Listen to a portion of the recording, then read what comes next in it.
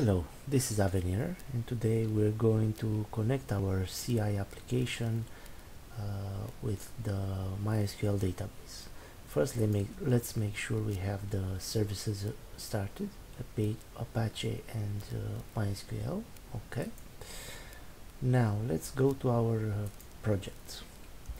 In order to test if our project uh, is connected to a database, let's try to do this, this Cloud database. And that's it. Now let's open our browser and go to localhost CI app. As you can see we are uh, welcomed by an, an error. Access denied for user root at localhost.com uh, not using password. Okay. For this we need to go to our application config database and in here we have the settings for our database. As you can see we have username root no password and no database. So let's try and do as password your own password. Usually if you have a clean install of uh, WAMP or XAMPP is uh, either root or no password at all. I already have a password for uh, my uh, MySQL database.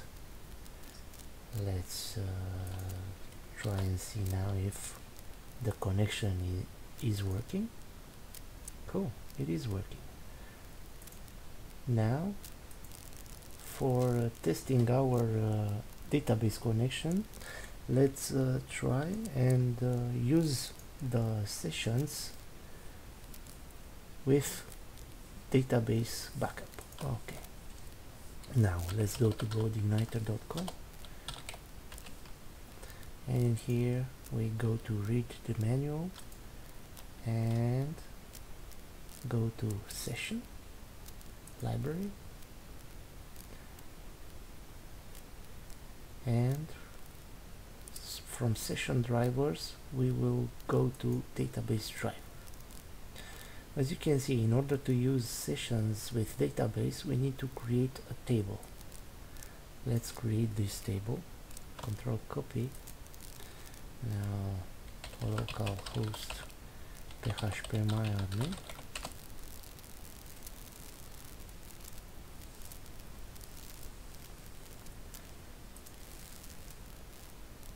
and let's create a database.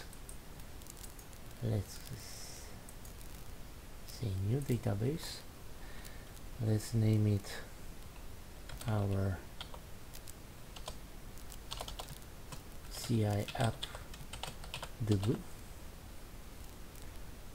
Escalation I usually select UTF uh, UTF 8 UTF-8 General CI UTF-8 General CI create now we will paste the creation of table CI sessions and we will say go. Cool. We have a new table. Now in order to enable sessions with database support, we will have to go to our config. And in here instead of session driver files we will select session driver database.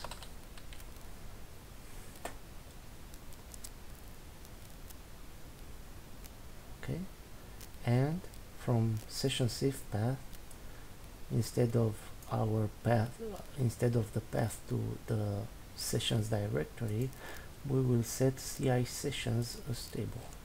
CI sessions.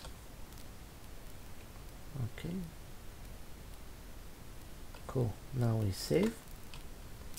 And we will see if the sessions works. Okay?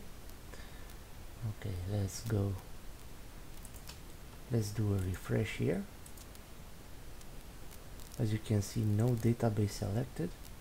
That is because in our database config we didn't select a database. Ci app db okay. Now let's go here and do a refresh. Okay. Now if we go to testing uh, sorry. Welcome testing. We should see whatever user which was set up in the welcome in the index method of the welcome controller. Whatever user. Cool. Now we've set up our database and also our uh, sessions with database support if you want to check if this really happened you can go to CI sessions and browse. As you can see we have a sessions with IP which is related to our local host and timestamp. Cool. Thank you. And we'll see you in the in our next episode bye bye